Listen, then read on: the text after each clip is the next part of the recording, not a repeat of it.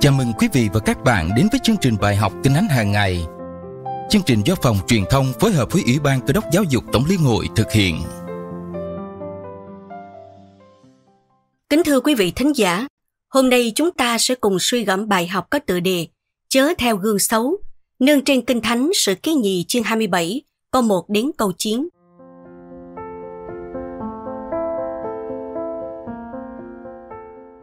Jotham được 25 tuổi khi người lên ngôi làm vua và người cai trị 16 năm tại Jerusalem. Mẹ người tên là Jerusa, con gái của Sa Đốc, người làm điều thiện trước mặt Đức Giê-hô-va, y theo mọi điều Ô-xia cha người đã làm. Song người không vào đền thờ của Đức Giê-hô-va, còn dân sự lại càng làm luôn tuồng nữa. Người xây cửa trên của đền Đức Giê-hô-va và xây nhiều trên tường thành Ô-phên người cũng xây những thành trong miền núi Juda và đền đài cùng những tháp ở trên rừng. Người đánh giặc với vua dân Ammon và thắng được chúng. Trong năm đó, dân Ammon nộp cho người một trăm lân bạc, một vạn cô rơ lúa miếng và một vạn cô rơ lúa mạch. Trong năm thứ nhì và thứ ba, dân Ammon cũng tiến cống người số ấy. Vậy Jotham trở nên cường thạnh bởi vì người đi đường chánh đáng trước mặt Đức Giê-hô-va là Đức Chúa Trời mình. Các công việc khác của Jotham, hết thảy những chiến trận và đường lối của người đều chép trong sách các vua Israel Juda. Người được 25 tuổi khi lên làm vua và người cai trị 16 năm tại Jerusalem.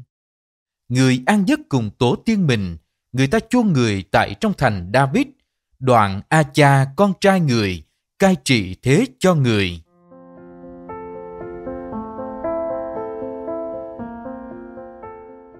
Câu gốc của bài học là chớ vào trong lối kẻ hung dữ và đừng đi đường kẻ gian ác.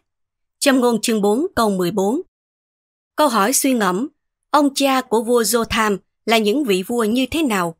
Nhờ đâu vua Jotham được Đức Chúa Trời ban cho cường thạnh?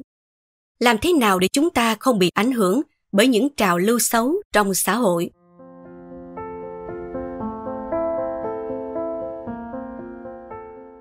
Kính thưa quý vị, vua Jotham lên ngôi lúc được 25 tuổi.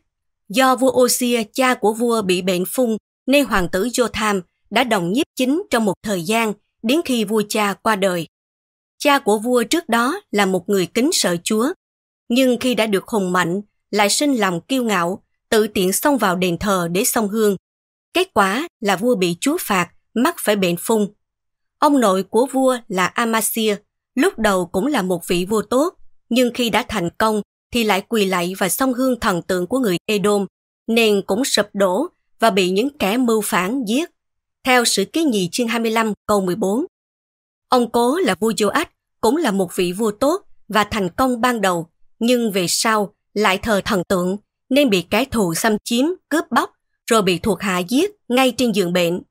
Theo sử ký nhì chương 24 câu 23 đến câu 25.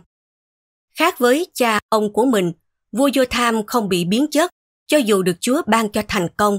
Vua làm điều thiện trước mặt Đức Giê-hô-va, y theo mọi điều vua Ô-xia, cha người đã làm khi chưa phạm tội cùng Chúa.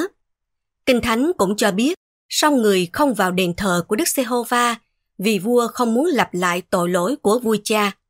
Dù dân chúng vẫn tiếp tục sống luân tuần do chịu ảnh hưởng nặng nề bởi sự luân tuần của các đời vua trước, nhưng vua Jotham thì không. Vua Jotham trở nên cường thạnh vì kiên định đi theo đường lối của Chúa. Nhờ đó, vua được Chúa ban phước trong những dự án xây dựng. Vua đã xây những thành trong miền núi Juda và xây dựng các pháo đài. Nếu cha của vua đã xây dựng những tháp canh ở Jerusalem và trong đồng vắng, thì giờ đây vua xây thêm tháp canh trong rừng. Vua cũng được Chúa ban cho chiến thắng, đánh bại dân Ammon, khiến họ phải tiến cống cho vua suốt ba năm.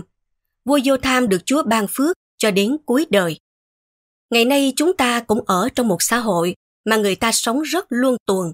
Nhiều người, nhất là giới trẻ, bắt chước nhau sống xa đọa. Họ tự hào vì mình đã sống theo quan niệm sống giống số đông. Bài học từ vua tham nhắc chúng ta rằng không phải cứ người ta xấu xa gian ác thì chúng ta cũng bắt chước xấu xa gian ác giống với họ để rồi phải nhận lãnh sự sửa phạt của Chúa. Chúng ta phải nhờ lời Chúa soi sáng, sống khôn ngoan như vua tham ngày trước cứ tiếp tục đi đường chánh đáng trước mặt Đức Giê-hô-va là Đức Chúa Trời mình, bằng cách học và làm theo lời Chúa dạy để cuộc sống chúng ta không chạy theo những trào lưu xấu của xã hội.